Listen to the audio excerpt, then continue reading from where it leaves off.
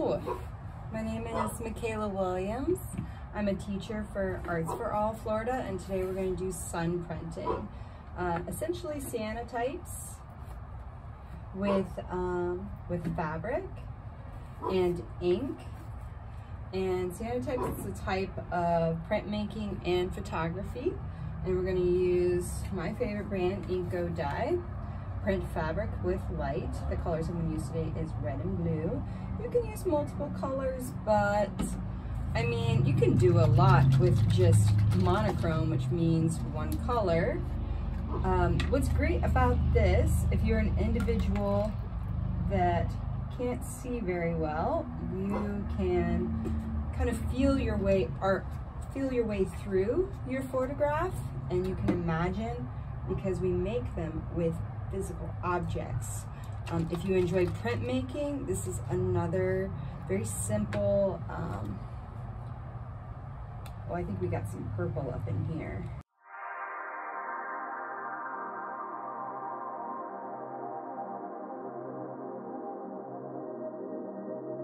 And the materials that you need is styrofoam cups, which I've used here.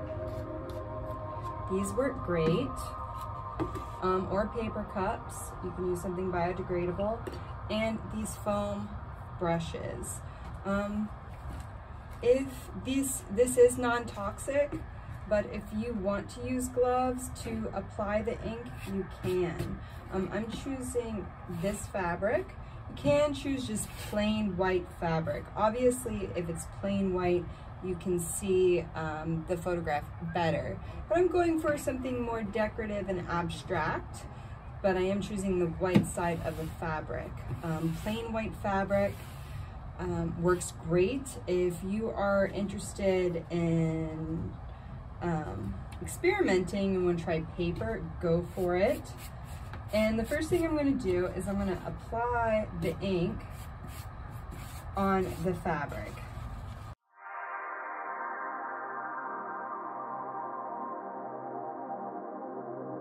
Also don't like the fumes and want to use this, use uh, wear mask, that's perfectly acceptable. Um, I we this hat this is an art project that has to be done outdoors. So I'm actually on my back porch and I'm applying the ink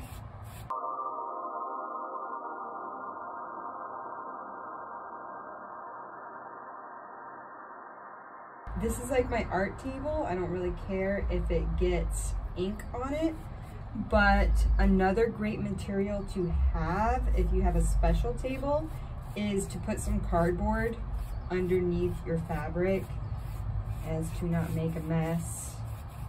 Um, but if you're like, I'm okay with the mess, you can do it just like me.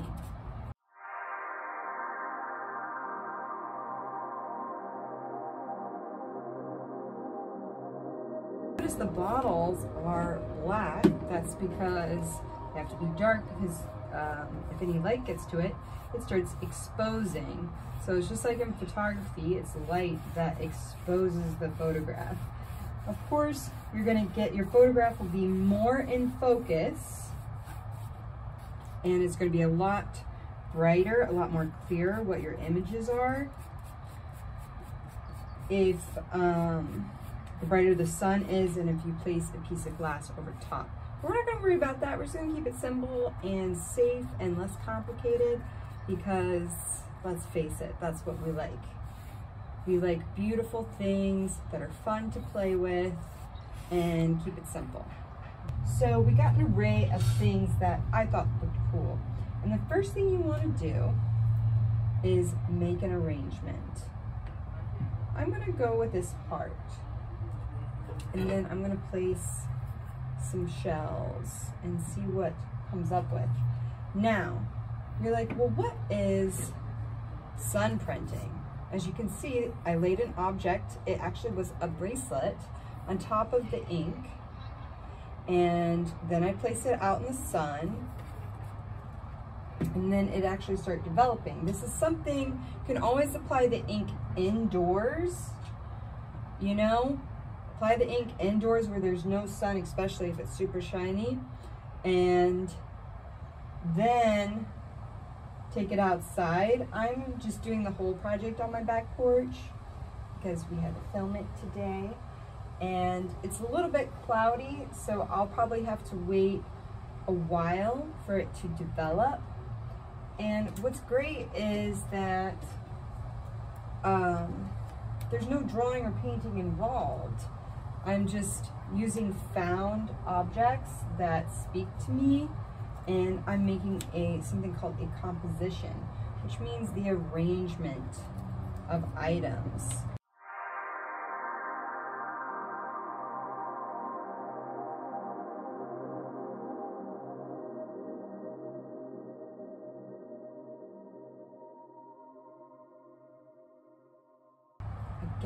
Let's come back to this in about, let's see what the box says. 10 to 20 minutes. So bright sun, 10 minutes, partly cloudy, 20 minutes. So see you in 20 minutes. All right, we're back again. I wanted to show you the difference, what it would be like on white fabric because we used like a canvasy fabric and depending on which materials you use, it will change how your photograph develops. Now remember while you're waiting those 20 minutes to cover up your fabric dye with something because with a piece of cardboard because if you don't um, this dye actually will start to develop in the cup so you want to keep it kind of dark um, I wouldn't leave it out in the sun so again one nice thick clear coat I would probably do this indoors um, or in the shade where the sun can't get at it.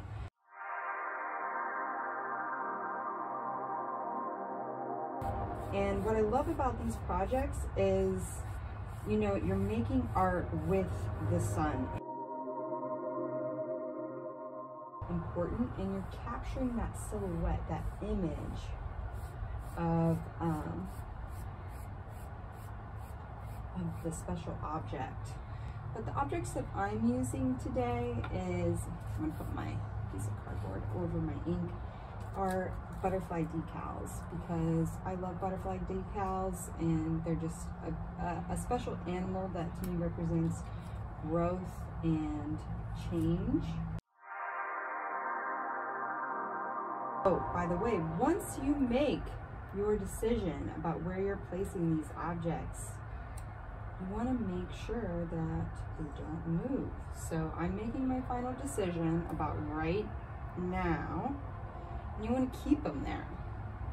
Because if you move them around, it's going to make your photograph out of focus. Okay? So good luck. You place your objects. Um, I grab, grabbed a piece of glass out of an old picture frame that I had. And I'm going to tell you this is going to actually help your photograph become more in focus or your print because it's going to lay things down super flat. Um, obviously in the other uh, cyanotype, um, a lot of the objects we used were three-dimensional, so it was not going to have the same effect.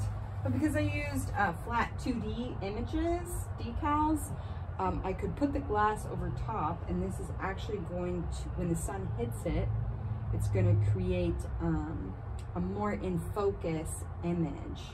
The ink should develop as red. So as you can tell, it's still like that pale pink. So once this turns that bright red color, it will be ready. If you're using blue, you know, when it develops, it should turn this color. It goes on that color, comes out that color. All right.